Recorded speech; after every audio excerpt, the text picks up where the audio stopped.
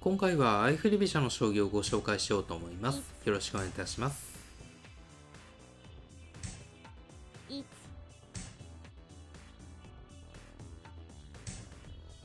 相手は向かい飛車ですね。こちらも今回は向かい飛車にしようと思います。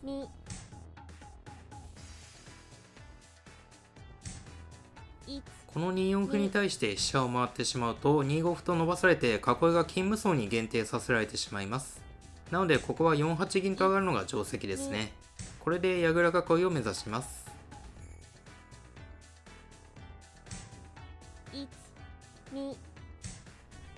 向かい飛車にする前に3七銀の形を作るのでちょっと違和感があると思うんですけどプロの実戦例も結構ある定石とされている進行となります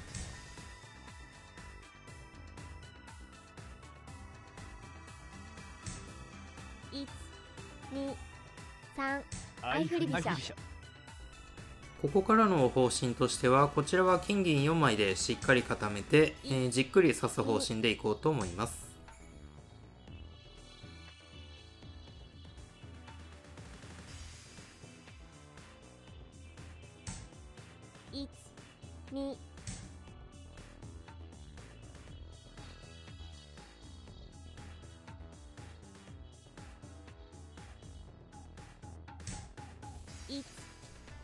ここは細かいところなんですけど3八金か3八玉の2択ありますね、まあ、今回は玉を寄っておこうと思います。まあ意味としては相手の銀が5四に出てきたので2筋と3筋を攻められる可能性は少ないからです。攻められるとしたら4筋ですね。1 4筋を攻められた場合にこちらは矢倉囲いの他に4八金上とコンパクトに4筋を手厚く構えることができるようになっています。これが3八玉と3八金の違いですね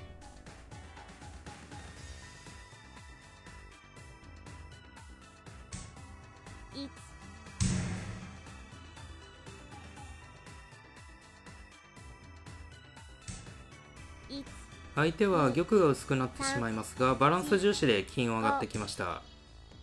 こちらは当初は矢倉囲いを目指していましたが相手が素早く動いてきたのを見てコンパクトに4八金上と囲っておきます。4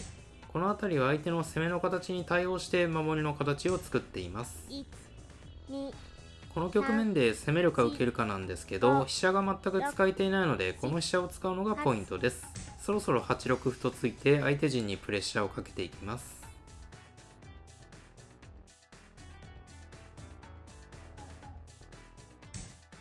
1相手もあまり飛車が使えていなかったので4筋に飛車を回ってきました。6 7 8相手の飛車が移動したので2筋から攻められる可能性が低くなりました。2なので端歩をついて玉の逃げ道を広げておきます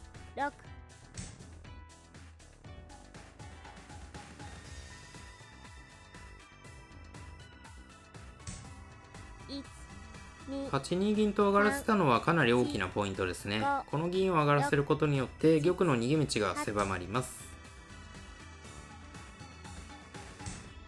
1 2 3 4 5 6 7 8ここは欲張って6筋も突き捨てます。まあ8四飛車から6四飛車で飛車で歩を2枚交換しようという狙いですね2 3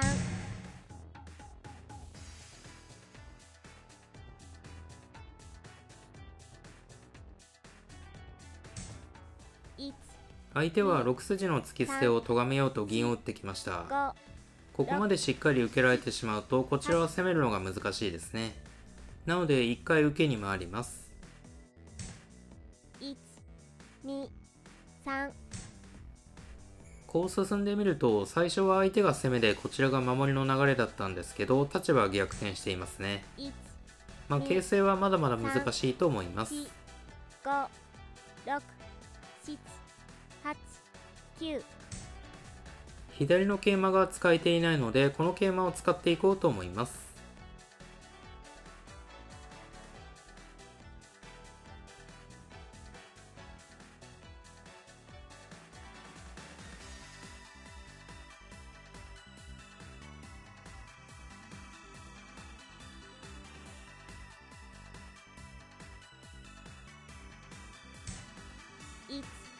2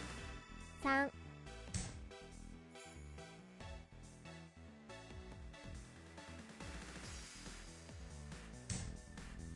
ようやく相手が攻めてきましたね。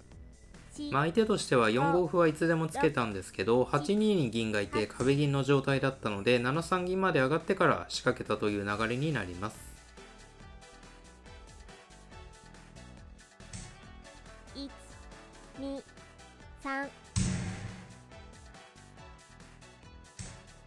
2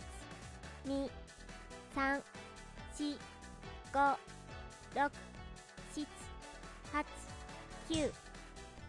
この銀打ちが強烈な一手でこちらが優勢ですね。こうなると相手の4五歩の攻めを完全に咎めています。まあ駒損になってしまうんですけど玉の硬さが大差なため攻めが切れなければ必勝形となります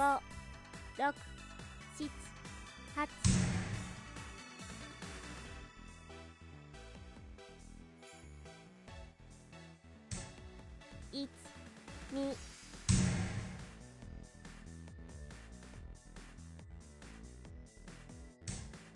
1 2 3 4 5 6 7 8 9相手の飛車はすぐに取る必要がないので歩の手筋で相手陣を攻略しに行きます。1 2 3 4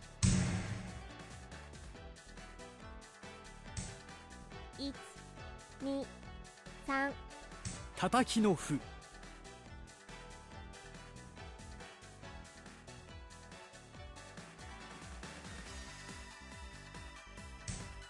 1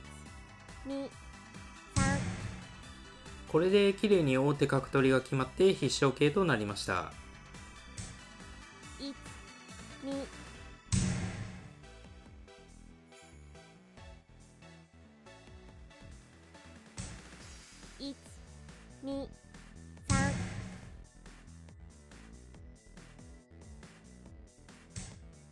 1 2 3 1 2 3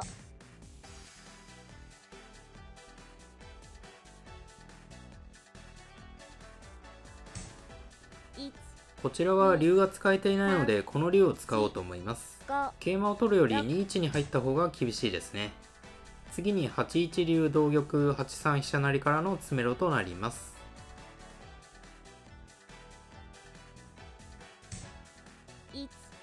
2 3 4 5 6 7この歩が決め手ですね。同玉だったら桂馬が取れます。相手は受けが効きません。1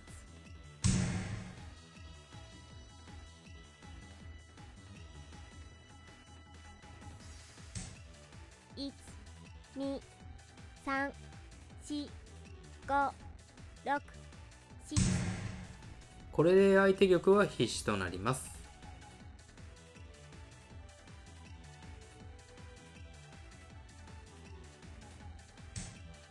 1 2 3